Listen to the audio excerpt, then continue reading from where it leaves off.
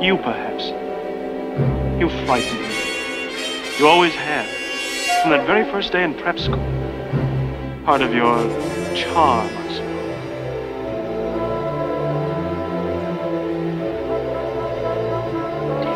We've actually done it exactly as we planned?